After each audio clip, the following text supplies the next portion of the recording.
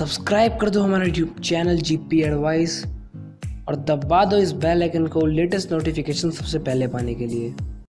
Hello दोस्तों, आज सभी का हमारे और आपके अपने यूट्यूब चैनल में बहुत स्वागत है। तो दोस्तों, बहुत सारे बच्चे मेरे से पूछ रहे हैं कमेंट सेक्शन के अंदर कि, सर, हमारा जो क्लास ट्वेल्थ का रिज़ल्ट है, सर, वो कब तक आएगा? बहुत सारे बच्चों को एक क्वेश्चन है क्लास ट्वेल्थ के रिज़ल्ट को लेके। तो मैं सभी क्लास ट्वेल्थ के बच्चों को एक ही बात बोलूँगा कि, अभी तक जो क्लास टेंथ वाले बच्चे हैं, जिनके एग्ज़ाम आपसे पहले कैंसिल हुए थे उनके भी अभी तक रिज़ल्ट आने का कोई पता नहीं है।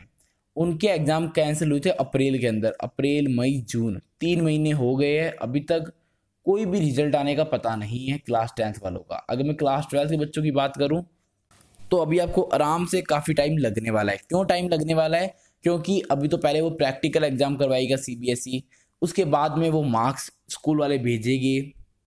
फिर इनके बेसिस पे बाकी के जो क्रिटेरिया उसको फॉलो किया जाएगा। तो आप मान के चलो कि कम से कम दो से ढाई महीने या फिर तीन महीने तक आपको टाइम लगेगा, फिर ही आपको आपका रिज़ल्ट मिलेगा।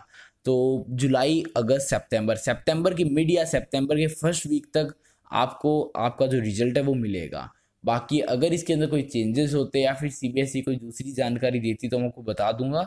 लेकिन मैं आप सभी को इतना ही कहूँगा कि आपको जो क्लास ट्वेल्थ के बच्चे हैं, उन सभी को एक ही बात बोलूँगा कि रिज़ल्ट में अभी टाइम लगने वाला है। देखो गाइज़ आप सभी ने इतना वेट किया है। एग्ज़ाम कैंसिल पे तो मेरे को मानना है कि आपको रिज़ल्ट पे ज़्यादा वेट करने की ज़रूरत नहीं पड़ेगी। जल्दी आपको रिज़ल्ट दे देंगे, लेकिन वेट करना पड़ेगा आपको कम से कम तीन महीने का। क्योंकि टाइम लगेगा प्रैक्टिकल एग्ज़ाम हो गए, फिर प्रैक्टिकल एग्ज़ाम के मार्क्स शिफ्ट किए जाएँगे, फिर उस पर वर्क होगा तो टाइम लगेगा। तो कम से कम तीन महीने लगेगी क्लास ट्वेल्थ वालों का रिज़ल्ट आने में। बाकी कोई दूसरी जानकारी आती सी बी एस की तरफ़ से तो मैं आपको वीडियो बना के बता दूँगा।